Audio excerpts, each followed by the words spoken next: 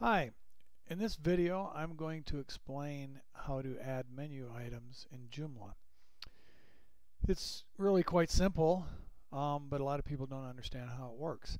In Joomla I usually have a main menu and a and you may have other menus, but the main menu is going to be what we're discussing here. In the default installation of Joomla, the main menu is this menu over here on the left it's called main menu and it has these links on it.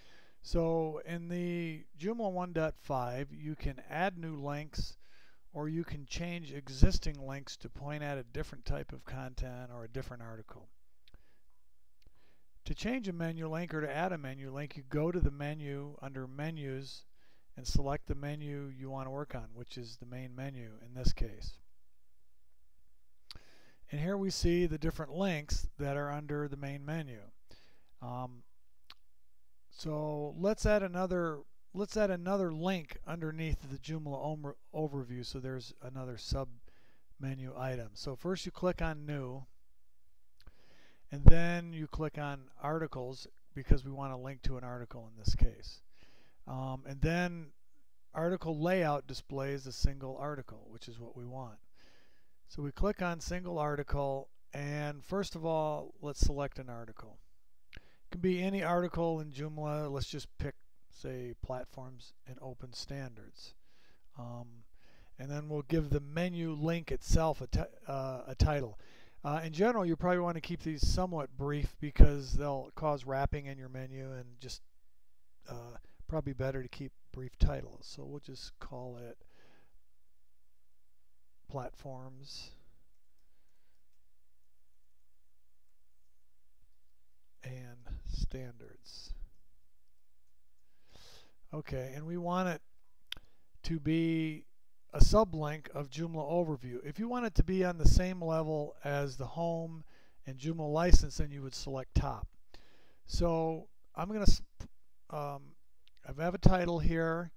Um, I have a Joomla overview. If you want, if you have search engine friendly URLs turned on, you can put some keywords in here that will show up in the URL.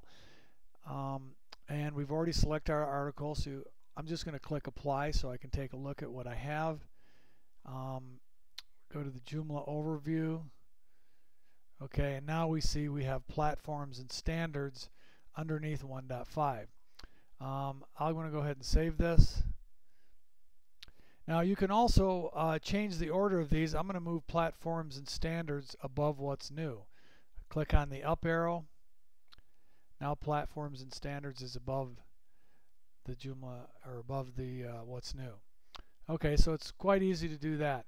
Now if you want to go in and change an item, um, for example, this item is a category blog item. Um, this is web links categories. I can go in here say I want to change this now to link to an article instead of to uh, web links. Um, you click change type and then select the type you want. Currently it's here but you could go back and select articles if you want to select link to an article, if you want to link to a category blog, layout, or a section blog. Um, if you want to set up and configure uh, a category or section blog, see my video on setting up section or category blog. So that's it for menus. Uh, for a quick review, to add a new menu item or to modify one, click Menus, select the menu you want to work on, main menu, and then you can add a new one, click New, and, uh, and you can specify name and the location on the menu, either a sub-item of an existing menu or at the top level, meaning the same level as your other menu items. Um, that's it.